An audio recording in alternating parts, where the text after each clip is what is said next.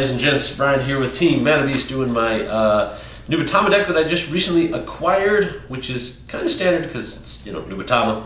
Uh, but let's go ahead and start off with our starter here, which is Stealth Beast Ku- Ku- Kuroko. Uh, the effect of her is when attack hits Vanguard, the battle this unit boosted, I can Soul Blast one, and if I have a Nubatama Vanguard, I can pay the cost and choose one of my opponent's cards. Oh, two. Pardon me. Choose two of my opponent's cards in the bind zone, and then I can put them in the drop zone. So really good on pressure effect, especially limit break, and then uh, with the other cards we're to talk about.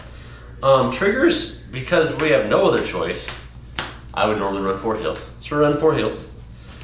I'm going to run four draw, and then I'm going to run four crit.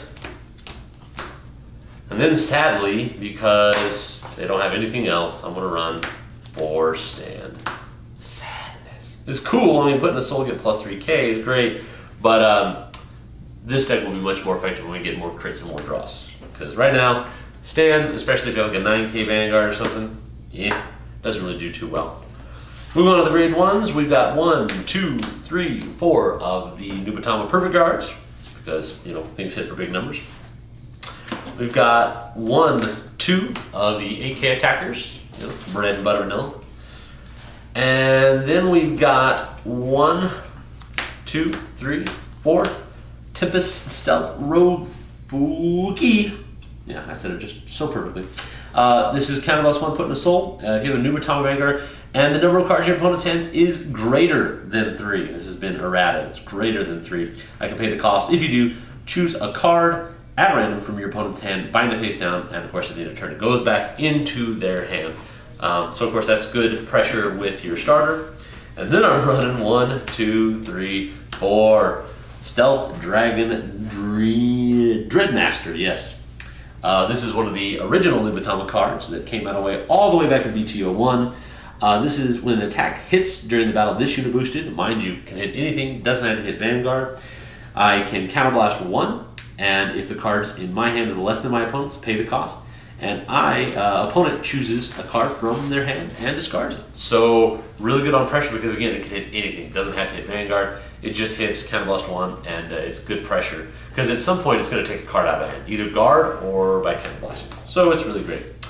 Uh, on to grade twos, we're going to run three of the 10k vanillas because it's an optimal ride to grade two, and it's got a good body. It can hit for good numbers with the 8k attacker on cross rides. Then we're going to run four of Stealth Dragon Koyukujo. Yeah, awesome.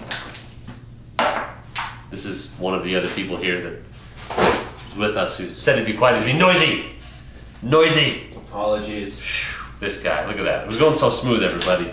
It's okay, we still love him. Uh, this is during your turn. When your opponent's card is placed into the bind zone, if you have a Nubatama Vanguard, this unit gets plus 2,000 till end of turn. Uh, so this is during my turn. It's just when it happens, it's effective. So um, this does have to be on the field for that effect to go off. So that is the important thing when you break ride. Um, it can't be after the fact you place it on the field. And it's a 9k buy. Um, then we're going to run one, two, three, four of the burr, as I call it, because it's a burr. Uh, this is simple, 9k attacker. When this is placed on Vanguard or rear guard, if I have a Nubatama Vanguard, I choose one of my opponent's rear guards and bind it face up, and at the end of the turn it goes back in the hand. So again, really good uh, early game pressure with the starter, and uh, it's pretty awesome. Um, then we're to run one, two, three, four, and they all are SP Break Ride.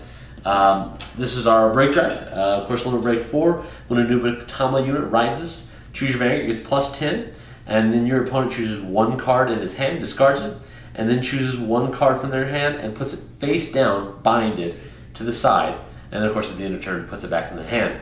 Uh, the other effect is when this unit attacks, if the number of cards in your opponent's hand is uh, three or less, I think that's been errated to three or greater. No, this is three or less. Pardon me. This has been errated. This is three or less. It gets plus two. So it's 13, boosted by the 8K is 21. Pretty hot. Pretty hot.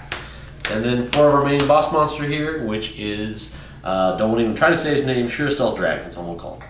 Uh, this ability is counterblast one. When this unit attacks, you may pay the cost.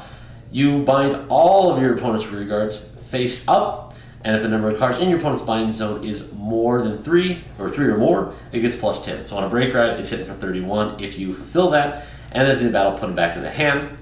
Uh, act phase, Counterblast 1 gets plus 2, so it can be a 13k attacker if you'd like. So really good uh, limit break turn, can uh, devastate and take a lot of cards out of your opponent's hands, and put lots of pressure. So anyway, that's the basic deck profile of Nubatama. Sadly, not more support, but when they do, we will have um, more goodness like better triggers. Yay! All right, guys. Thanks as always. Subscribe, rate, comment, and uh, give us 11. Share us to your friends and your family. See you guys.